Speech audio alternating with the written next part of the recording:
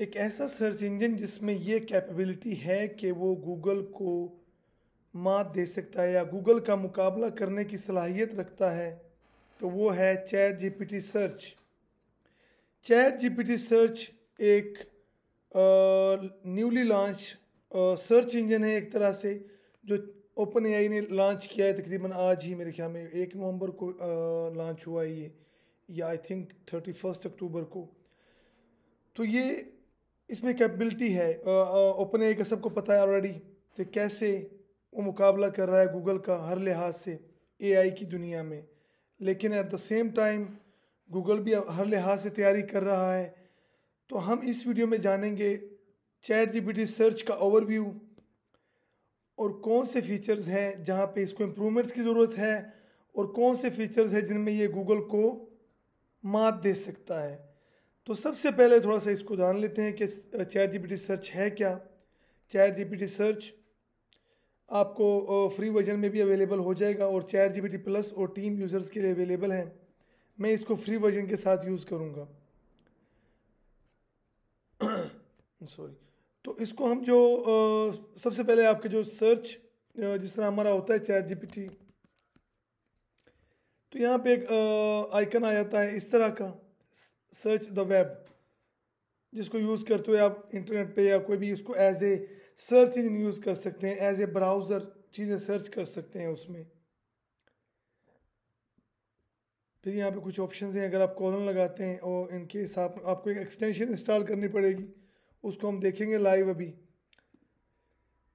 और उसके अलावा अगर आप देखते हैं उसमें जिस तरह सर्च इंजन गूगल वगैरह में हम सर्च करते हैं, हमें इमेजेस शो होती है यहाँ पे भी आपको इमेजेस शो होंगी और आपको ग्राफ वगैरह भी शो होते हैं। तो हम चलते हैं सबसे पहले ChatGPT search Chrome extension इसको सर्च किया, सबसे पहले रिज़ल्ट ओपन किया, इसको ऐड टू क्रोम किया ऐड एक्सटेंशन और उसके बाद ये एक्सटेंशन ऐड हो गई, इसको सिंपली रिफ़्रेश करेंगे। आपका जो डिफ़ॉल्ट ब्राउज़र है वो चैट जीपीटी सर्च का बन जाएगा। लेकिन अगर आप चाहते हैं कि आप गूगल को यूज़ करें डिफ़ॉल्ट तो आपको जाना पड़ेगा सेटिंग्स में।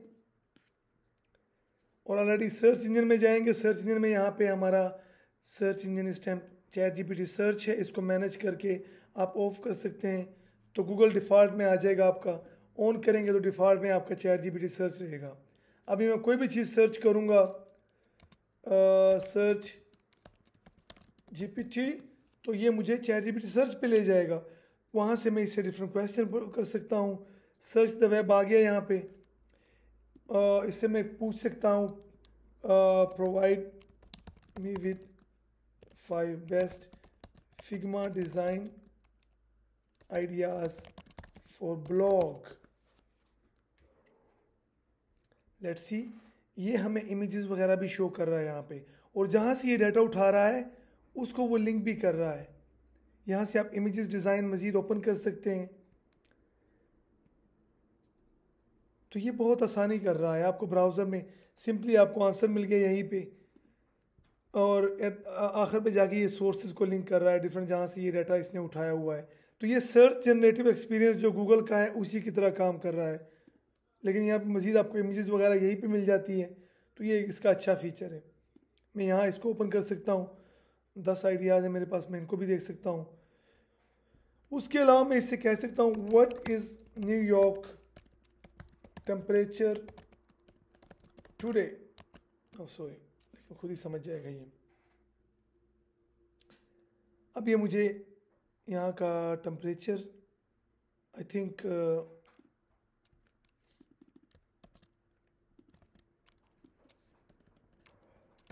for this week मैं इसको पूरे हफ़्ते का पूछता हूँ तो ये कुछ विजुअल अंदाज में शो कर रहा है। फिर मैं इससे पूछता हूँ उसके बारे में आ, कुछ इस तरह का मज़ीद अगर कोई हो जाए आ, टेबल वगैरह इसमें आ रहे हो। Show me Google growth chat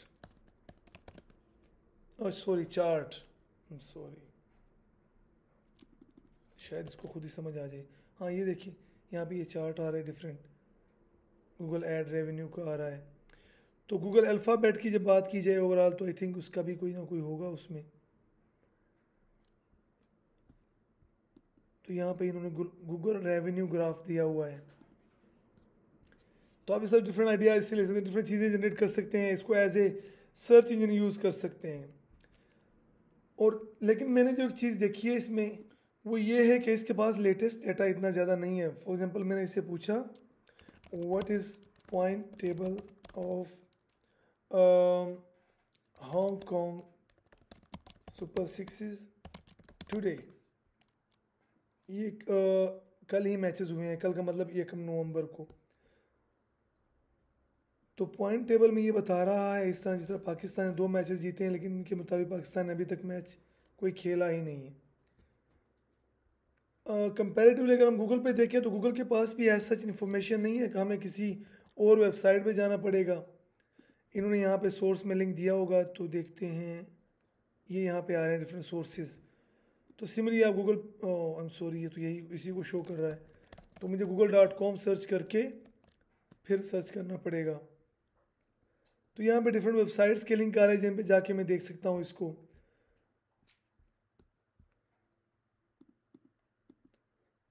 अब ये इसमें पोटेंशियल है कि गूगल का मुकाबला करें डिफरेंट ऑप्शंस को देखा जाए, लेकिन at the same time Google भी अपनी पूरी तैयारी कर रहा है गूगल भी पीछे रहने वाली चीज़ नहीं है।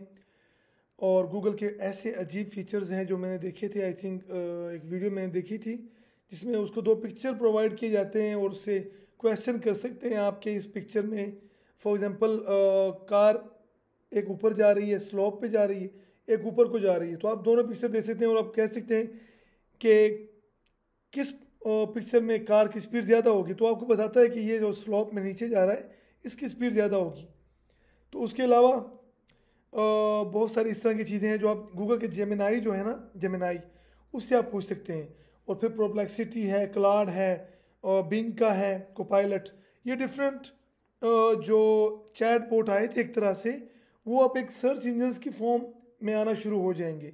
और 2025 एक बहुत ही इंपॉर्टेंट साल होने जा रहा है और एक तरह से एक जंग होगी।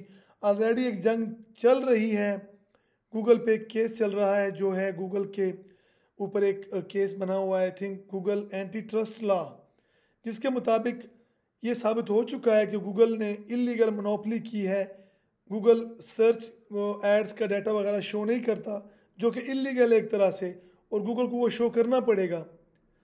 तो उसके दो हज़ार पच्चीस में शायद गूगल पे ये कोई आ, साबित हो जाए और उसको गूगल को शो करना पड़े डाटा अगर गूगल डाटा शो करता है तो वो डाटा सब बाकी कंपनीज़ जो हैं जो डिफरेंट सर्च इंजन चला रहे हैं डक डक गो या फिर बिंग या फिर या आई थिंक और कौन से हैं उसमें यू या यू है एक उसमें तो उनके पास एक डाटा आ जाएगा।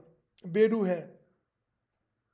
जब उनके पास वो डाटा सारा आ जाएगा तो वो इजीली गूगल को साथ compete कर सकते हैं। एट द सेम टाइम बहुत सारे रिस्क भी आएँगे यहाँ पे। लेकिन हम देखेंगे कि आने वाले सालों में क्या होता है। आप फ़िलहाल इसको यूज़ कर सकते हैं आपके सामने जो चैट जी इसमें हमने यूज़ किया है। अब इसमें एक इशू आ रहा था, मुझे शुरू में ये नहीं करा रहा शो तो मैंने इसको यूज़ किया chat G P for trial version जब मैंने इसको ये कमांड प्रॉम्प्ट दिया तो फिर इसने मुझे ऑटोमेटिकली इस पर कन्वर्ट डाइवर्ट कर दिया। मैं इसको जो यूज़ कर रहा था सारा, अब यहाँ पे मैं कॉलन यूज़ करके यूज़ कर सकता हूँ कि मुझे सर्च चाहिए। तो मैं सर्च पे क्लिक करता हूँ तो ये वेब पे चला जाएगा। अगेन कॉलन यूज़ कर, यहाँ नहीं, यहाँ पे कॉलन यूज़ नहीं होगा। फिर आप न्यू चैट पे आते हैं आई थिंक डिफ़ॉल्ट में। आपको दोबारा यहाँ पे कॉलन यूज़ करेंगे तो ये आपके सामने आ जाएगा इस तरह। तो आप इस तरह यूज़ कर सकते हैं चैट जीपीटी सर्च को और दिसंबर में इसकी एक और बहुत बड़ी अपडेट आने वाली है, जिसके बाद हम देखेंगे मज़ीद ये कैसे डाटा को अच्छे तरीके से शो कर सकता है। लेकिन at the same time Google की भी अपडेट साथ साथ चल रही है। और गूगल आई थिंक जमिनाई भी बहुत एडवांस तरीके से तरक्की कर रहा है। देखते हैं आने वाले सालों में, आने वाले महीनों में क्या होता है। तो आज की वीडियो में बस इतना ही। अगली वीडियो में फिर मिलेंगे। अल्लाह हाफिज़।